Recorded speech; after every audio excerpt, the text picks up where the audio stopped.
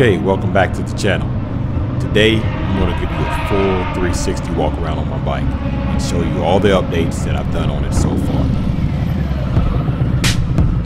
The first thing that I did was put the Custom Dynamics LED Pro Beam turn signals on the bike.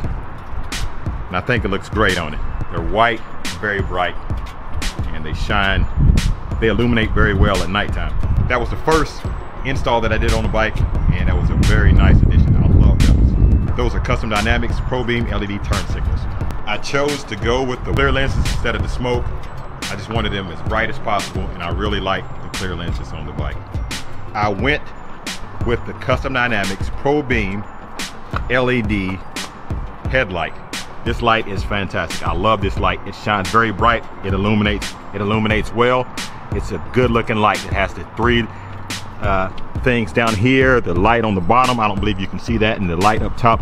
It looks great. Now they make that in chrome or black, and I went with the chrome. It looks great, and it's great for safety. Now, the first real change to the look of the bike was the lowers I installed. It makes the bike really look nice on the front end. I'll put a link in the description below so you can find out where you can get those lowers. Also the foot pegs, you'll see the foot pegs on the motorcycle. I installed those foot pegs.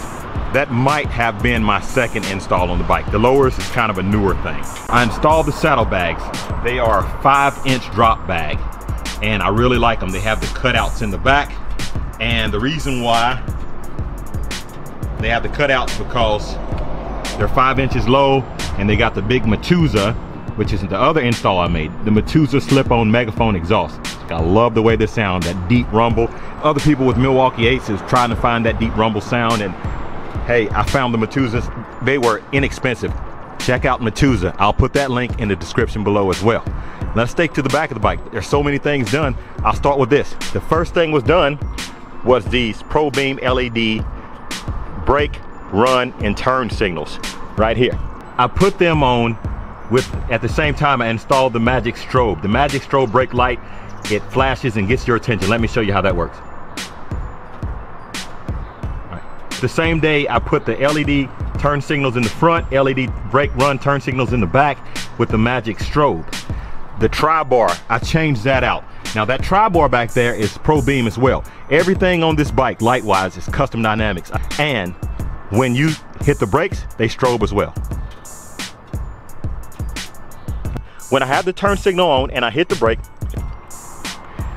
the tri-bar still pulsates. One of my favorite installs. If you look right here, you can see the plugs. It has an antenna delete. That actually was the first thing that was done to the bike. When I left the dealership, I did not want that antenna hanging off the back of it, so I asked them to take that off. They left me with two rubber grommets here and here where the antenna goes. They're turn, brake, run. You see that? I know it's hard to see because everything else is back there. I'm gonna get to that in just a minute. That is the Custom Dynamics plugs. They're great. And lastly, on the back of the bike, I have the new Custom Dynamic Pro Beam bags, is what they're called. They're bag lights for your saddlebags. So they're run, brake, turn. They strobe with the magic strobe. I guess you noticed the latest addition I did to the motorcycle was installing the tour pack. I went with the Chop tour pack. It's not the Razor tour pack or the pizza box as some people want to call it. It's the one in the middle. And I really like the way it looks. It has the backrest pad on the back of it. it. It really goes well with the motorcycle. It's low and sleek and looks fantastic in my opinion. But that's the full walk around. Let me just continue to walk around and do a 360 of the motorcycle. That's the full walk around of traveling. My 2019 Street Glide. And the reason why it's called traveling, because that's what I intend to do with it, travel with it. What I want to do next, and I really want an air cleaner. I think I need an air cleaner and the Vance and Hines Fuelpak 3 tuner or whatever else tuner. If you, if you know of a good tuner, let me know. But I need to get the standard air cleaner off of there and get this thing breathing a lot better and get a tune on it. Well, that's it. Oh, by the way, this tour pack here, they it's quick detached so I can take it off because I like it, but I'm still a fan of the motorcycle without the tour pack. So I can take it off when I'm not using it. And you know I'm going on my California road trip real soon. and it's gonna help me with storage. And speaking of storage, the reason why I did so many of these modifications because the lowers has storage in them. I can put things in the lowers. The five inch drop bags, they have a lot of room in the bottom of it. It really increases what I can pack. And then of course with the tour pack, that only helps out. It's just, on my trip, I still need to get a back seat bag. I don't know which one I'm gonna order, but I'm going to try to order one real soon. If you have any recommendations for a backseat bag to go in the back seat, I want a waterproof backseat bag. Please let me know, put that in the comments below.